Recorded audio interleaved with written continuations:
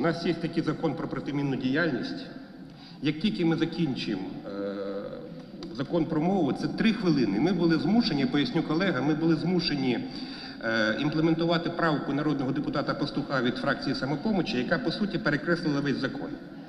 І ця правка не дає можливість міжнародним донорам напряму е, фінансувати протимінну діяльність. Це одне речення, яке ми зобов'язані прибрати з цього закону, і яке розблокує сотні і сотні мільйонів доларів міжнародної гуманітарної допомоги протимінної діяльності.